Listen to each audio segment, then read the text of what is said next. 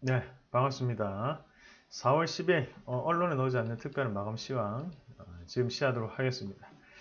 자, 어, 영상이 끝까지 마음에 드시면 어, 구독하기 하시고요. 좋아요도 많이 눌러주십시오. 유튜브에서 이상로 또는 어, 이상로 새빨간 투자 어, 네이버에서도 검색해도 뜹니다. 네이버 TV에도 있습니다.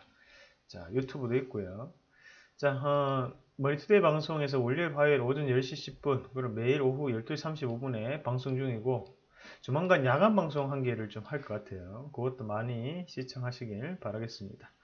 자, 가입 문의는 010-2638-0390번 또는 MTN으로 문의하시면 되겠습니다.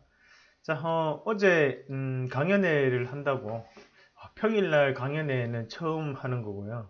그리고 어, 아, 평일 예전에 이제 SK 케미칼 이런데 금요일 날좀 강연회를 하긴 했었어요. 어, 근데 어제는 어, 이제 한국투자증권 우수 고객을 대상으로 강연회를 했는데 어, 이렇게 어, 진행을 했습니다. 어, 그래서 뭐 분위기 조명이 상당히 어, 잘 찍었죠 사진을. 그래서 음, 40분 조금 넘게 어, 모집이 된 것 같아요. 그래서 거기서 진행을 했다. 내용은 상당히 좋았습니다. 제가 판단했을 때는 어, 여기 계셨던 분이 어, 요거를 보시고 계실 수도 있는데 그 내용은 꼭 기억을 하시길 바라겠습니다. 자, 어, 일반적인 우리 유튜브를 보시면서 공부를 하시는 이렇게 시청자분들께도 강연에 대한 정보를 드리고 있습니다. 그래서 이렇게 조금 소규모로 하니까 이 분위기도 괜찮더라고요. 그래서 다음에는 이런 소규모 강연회를 계획 중입니다. 아, 어제 근데 생각보다 갔다가 이것도 여의도라 가지고 차를 가지고 가면 나올 때 퇴근 시간이기 때문에 어, 저희 집까지 차가 엄청 막혀요. 어, 그래서 어, 제 지하철을 타고 왔는데 힘들었습니다. 어, 오랜만에 타서 그런지 힘들었어요. 그리고 진이 빠지고 어, 그래서 어제 집에 왔는데 감기가 걸렸어요.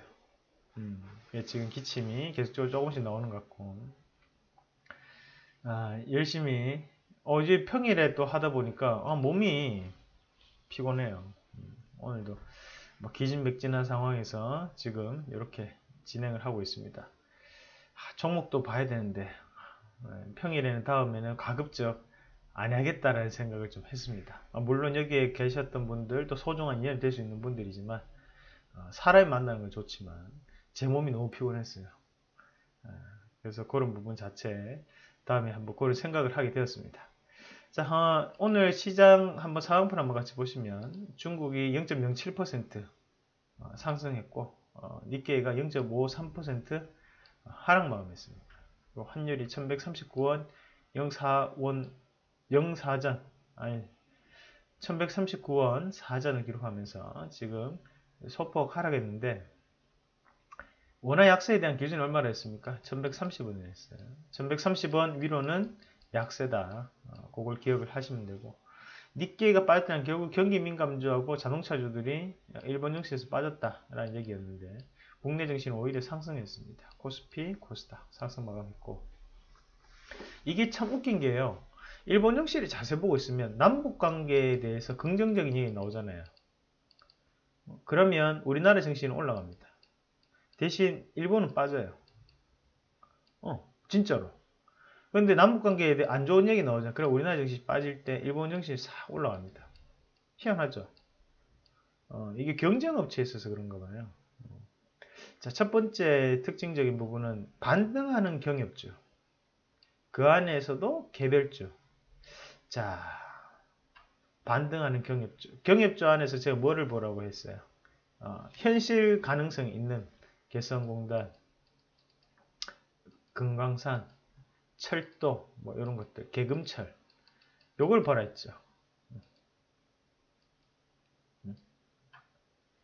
자, 요게 오늘 시장 왜 이런 게 중요하냐? 자, 오늘 시장에서도 반등이 그래도 나온다는 거예요. 반등이 그래도 반등 나온다. 기대감으로. 하지만 지금 이쪽은 보세요. 농업주는 어때요? 반응이 안 나오죠. 결국에는 인도적 지원이라는 것은 기대감이에요. 그냥 인도적 지원을 할 수도 있고 안 할 수도 있어요. 이게 중요한 게 아니라는 거죠. 현실적으로 뭔가에 대한 가능성, 그런 가능성을 가지고 있는 섹터군들이 그래도 반등할 때 반등이 나온다는 얘기예요. 예, 제가 요거는 방송에서도 계속적으로 말씀을 드렸던 것이 바로 이런 이유 때문이에요. 예, 지금 우리가 좀 보시면 저는 월요일부터 반등이 좀 올라올 줄 알았는데 그 예상은 빗나갔고 아난티 같은 거 한번 같이 보도록 하겠습니다. 내일 어떻게 될지 몰라요 사실. 지금 신규 매수를 하라는 게 아닙니다. 지금 신규 매수 타이밍은 아니에요. 보유자의 관점입니다. 지금 반등이 좀 나오는데 만약 반등이 이때 얼마였습니까? 그때 우리 엘리어트 파동 계산해 봤을 때 반등이 여기서 지금 올라오고 있는데 자 잠시만요.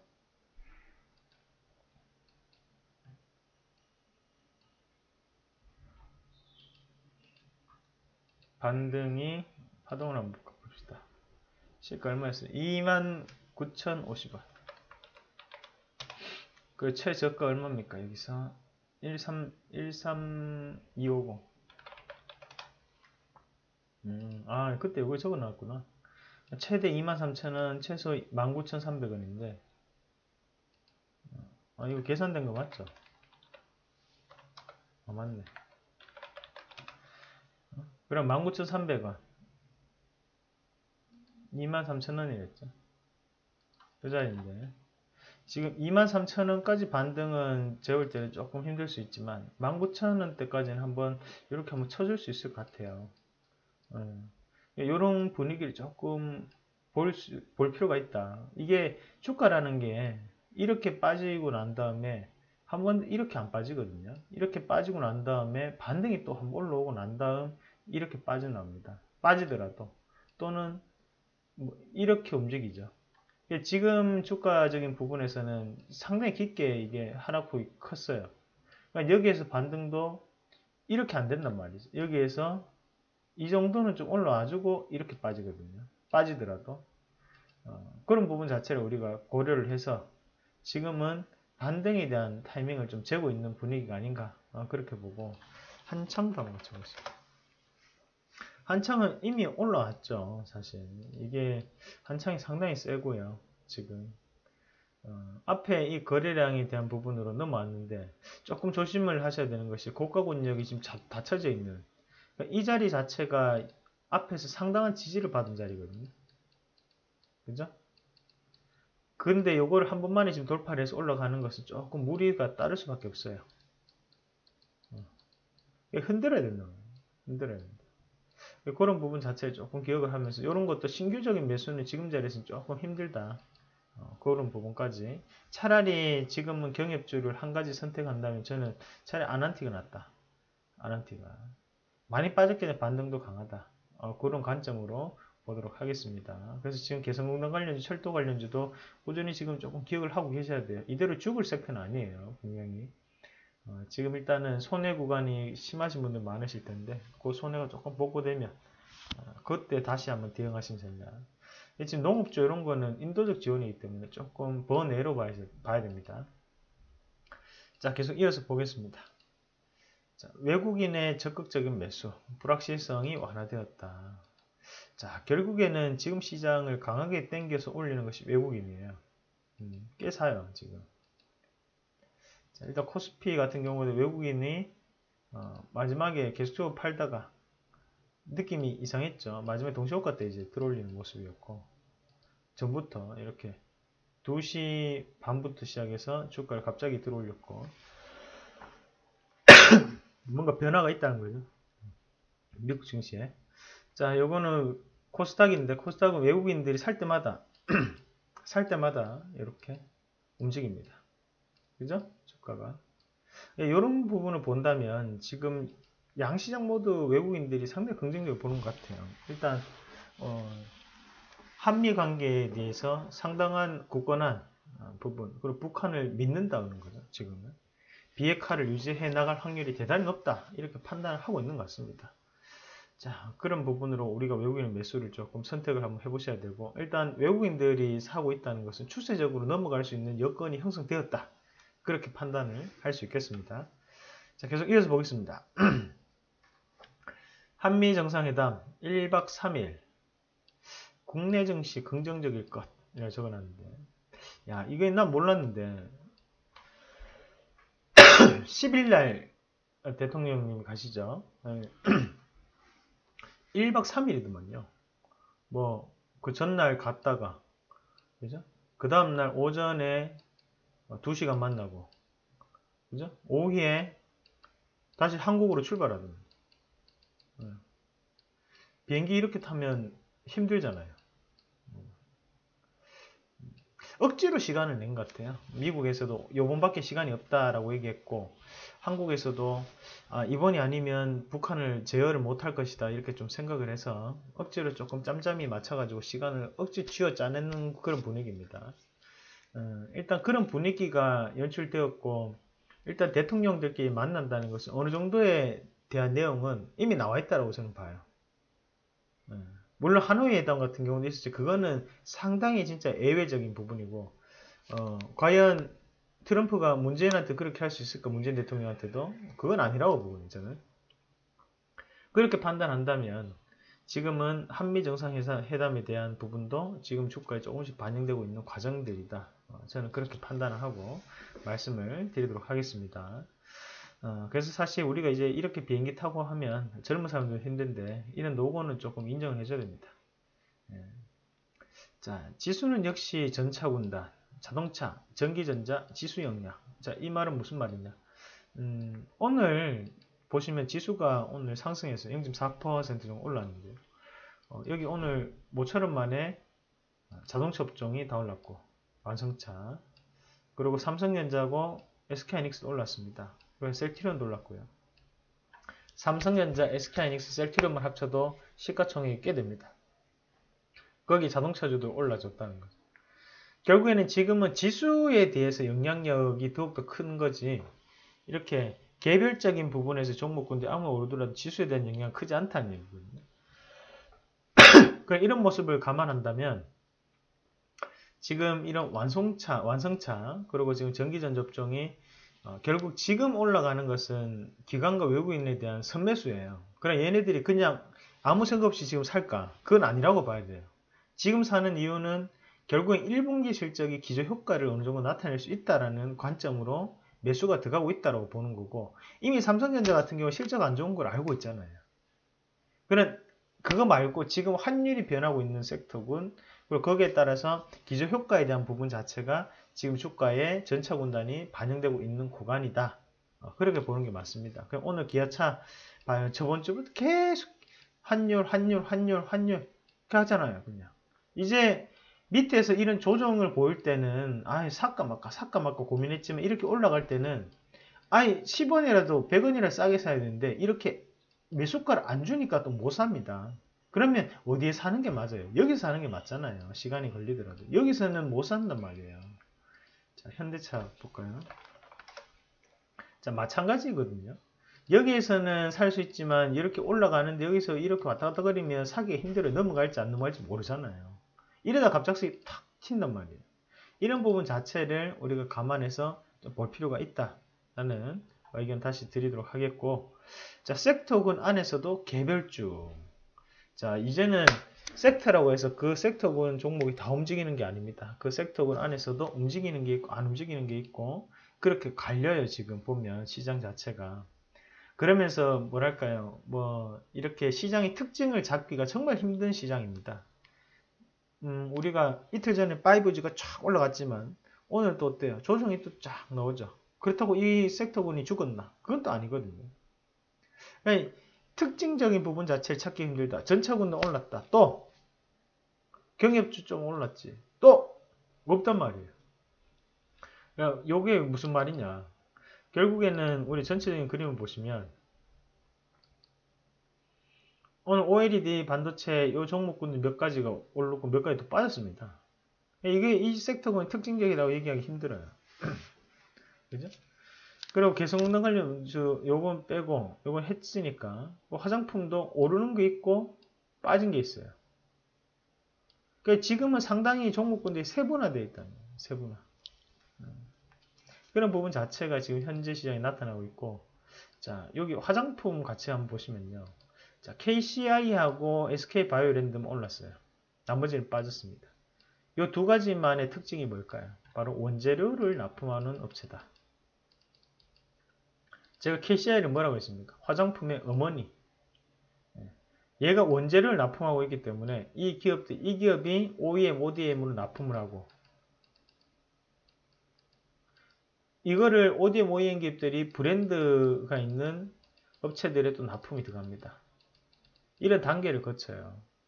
그런 부분 자체를 감안한다면 지금은 다 품종 소량 생산 체제이기 때문에 이런 납품처에 대한 원재료를 생산하는 업체들의 실적이 상당히 좋아지고 지금 이게 실적적인 부분이 반영되고 있다고 봐야 돼요. 자, KCI 한번 같이 보시겠습니다. 자, 신고가 가고 있죠. 자, 흐름을 탔습니다. 마찬가지로 여기에서 계속적인 조정을 주고 난 다음에 시세가 땅 튀어서 올라오는 과정인데 실질적으로 이런 기업들은 좀 더 갈 수 있다고 봐야 돼요. 신고가 한번 찍을 거예요. 찍고 난 다음에 또다시 한번 변화 요인을 또 주겠죠. 그런 부분을 좀 더 판단하실 필요가 있고 자 계속 이어서 보겠습니다. OLED 자 OLED 같은 경우에도 오르는 게 있고 또 빠지는 게 있거든요. 근데 이런 것들은 이제 가격적인 메리트에 대한 부분, 그리고 기간의 일부 차익 실현에 대한 부분 자체가 지금 반영되는 거지, 이 섹터군이 좋다 안 좋다의 그런 상황이 아닙니다. 좋은 상황으로 봐야 돼요, 지금은. 어차피 오늘도 원익 큐브 잠깐 한번 같이 볼까요? 이거는 무조건 이 삼성에 대한 그런 기대감, 폴더블 스마트폰이나 기대감을 오르는 주식이에요. 이게 올랐다는 것은 점점 삼성의 폴더블에 대한 출시 기대감이 계속적으로 시장에 자리 잡을 여건이 형성되고 있다는 거예요. 그렇게 된다면 결국 이 OLED 업체들이 거기서 필수 장비주들 빠지기가 힘들다는 얘기죠. 반도체 장비 마찬가지고 업황적인 부분에서 넘어가고 있다는 관점으로 해석을 할 필요가 있다라는 거고 오늘 대지열병에 의해서 백신 관련주가 올랐는데 장중에 상당히 좋았던 것이 제일바이오하고 중앙백신 나머지는 조금 올랐어요. 자, 이것도 종목별로 차이가 난다는 거죠. 그러면 얘가 1등, 얘가 2등 이래 됩니다. 그러니까 다음에도 또다시 오를 때 1등, 2등이 먼저 올라요. 이거는 주가라는 것은 한번 빵 튀었을 때 누가 가장 많이 가는 애가 1등이 되는 거예요. 우리가 BTS 관련주, 방탄소년단 관련주 1등이 누굽니까? 엘비세미콘이에요. 2등은 몰라요. 3등도 안 정해져 있어요, 지금. 2등, 3등이 없어. 근데 LB 세미콘이 지분도 제일 적은데 일단은 제일 많이 가. 그것은 수급에 의해서 가는 거거든요. 그럼 저런 게 1등 말고 지금 2, 3, 4등이 안 정해져 있기 때문에 저런 거 섹터군이 바뀔 거예요. 종목군들이. 하지만 우리가 이런 금강산 관련주, 어, 이 개성공, 그 뭡니까? 경협주 딱 봤을 때 1등이 누구였어? 아난티였잖아요. 이런 종목군들은 다음에 안 죽는단 말이에요. 죽었다가도 다시 가장 먼저 올라옵니다. 그러니까 이런 우리가 항상 보면 프리미엄을 줄 수 있는 1등 업체, 2등 업체까지를 한번 선택을 해야지만 어, 이런 상승 랠리 좀 이어진다는 거 봐야 돼요. 사실. 그러니까 그런 부분 자체를 우리가 조금 판단을 해서 살 필요가 있다는 거예요. 지금은 어, 섹터군 안에서도 1, 2등, 1, 2, 3등만 살아남는 섹터군들이거든요. 그 부분을 조금 고려를 해서 종목군들을 판단하시길 바라겠습니다. 그 외적인 부분으로 오늘 바이오주들, 바이오주들 오랜만에 이제 반등 나왔는데, 자, 여기서 이제 오늘 상승한 종목군들 보면, 어, 잡주스러운 애들이 상당히 많아요, 사실. 음, 태경화학 이런 건 이제 인공강우 관련주고요.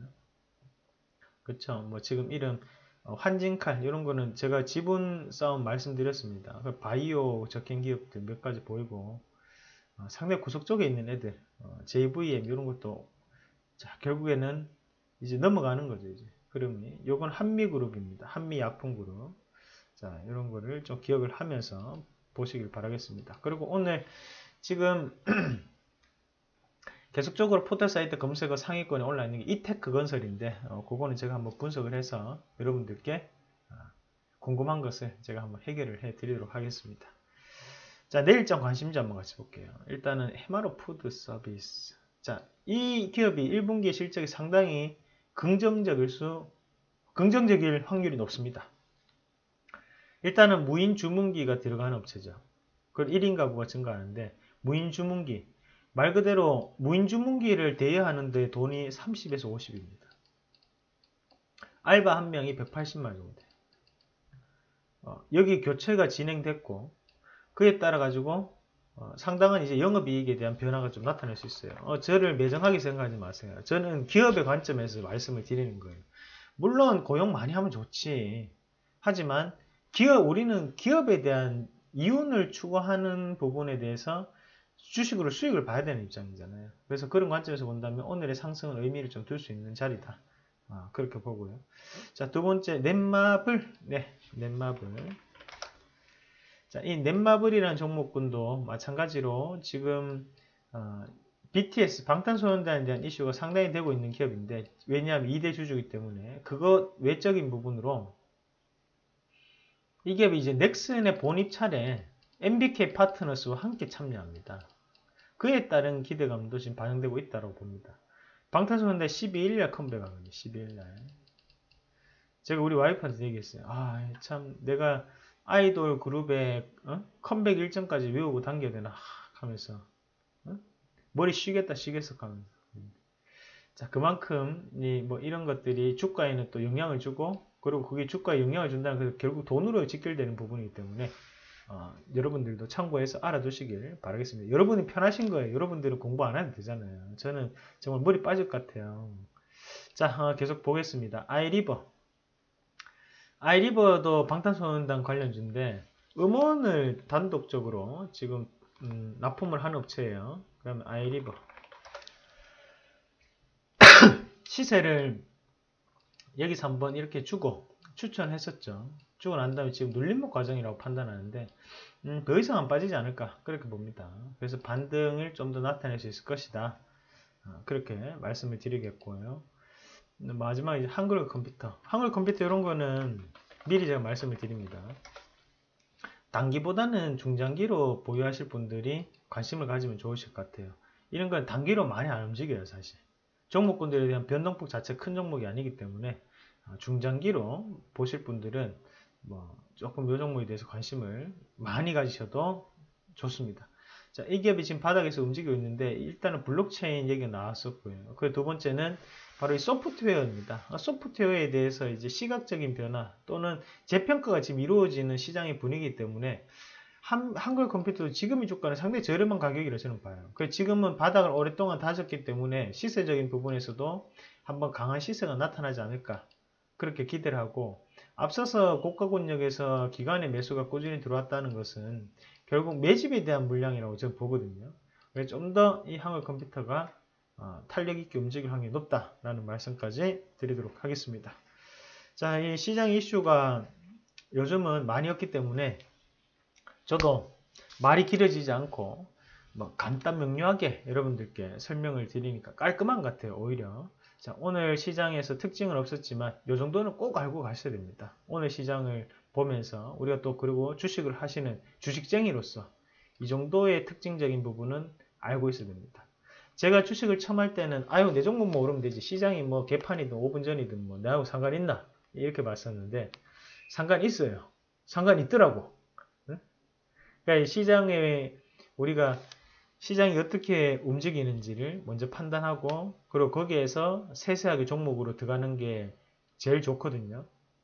책에서는 top-down 방식도 있고 bottom-up 방식도 있지만 제가 직접 해보니까 bottom-up 방식보다는 top-down 방식이 훨씬 더 나아요. 여러분들이 개인적으로 bottom-up 방식을 하기가 힘들어요. 그래 아래에서부터 종목을 먼저 찾아서 업황이나 지수를 보는 것은 더욱더 여러분들이 어려울 수 있습니다. 차라리 이렇게 저에게 얘기를 듣고 지수를 보고 업황을 보고 업종을 보고 종목을 찾는 거는 생각보다는 그렇게 어렵지 않아요. 그래서 저는 여러분들께 가급적이면 책에는 두 가지 나와 있지만 톱다운 방식으로 하시는 방법을 말씀을 드리겠고 그러기 위해서는 이런 시장의 특징적인 부분을 항상 어느 정도는 공부를 하면서 시장을 바라보시면 정말 도움이 되실 거라는 말씀까지 함께 드리도록 하겠습니다. 자, 오늘은 그럼 여기까지 하고 어, 내일 이 시간에도 다시 또 즐겁게 매매하시고 뵙도록 하겠습니다.